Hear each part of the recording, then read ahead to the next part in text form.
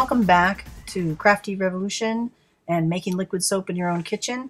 I'm bottling up some liquid soap today. There I'm pouring some liquid soap into a glass pitcher. Uh, there's a little bit of cloud in there. Don't worry, kids. It's all good. This is really moisturizing soap, and that's what that cloud is, is some jojoba oil. That happens sometimes when you make good soap. I'm taking the soap away now to the microwave. I'm going to heat it up for 60 seconds. Okay, the soap is back from the microwave and it's uh, thinner. It's just uh, thinner because that's what happens when you heat it up. I've got some lavender essential oil and I am weighing it at this point. I didn't weigh the soap before. I just measured it in the pitcher and, because my bottles are four, or uh, excuse me, eight ounces. But I am weighing the lavender essential oil. Now look how it clouds up. That's what lavender does. And there's my lovely face with no makeup on it because it's summer.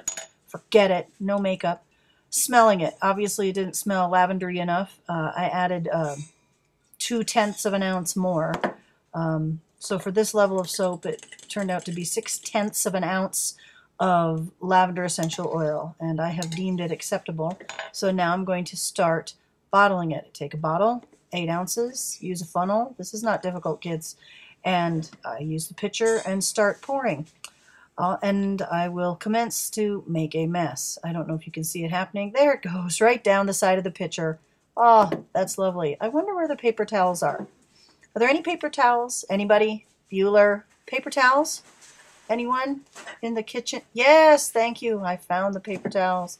This is a uh, real-time, uh, real-life soaping here, kids. Oh, and I love how that uh, bottle is almost out of the shot. But uh, there I go, a little uh, more control now, filling up the bottle. This is uh, really how it functions.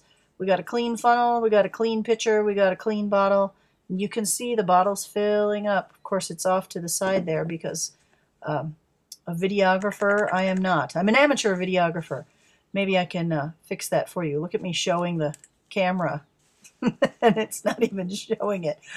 Let me fix that for you here in a second. Here we go. Centering it up no. See? I figured it out. All right. So now this is centered up and crash and back in the bottle. Um, I hope you enjoy my videos here at Crafty Revolution. Uh, someone asked me about how I uh, scent my liquid soap, and so this little video is the result of me answering that question.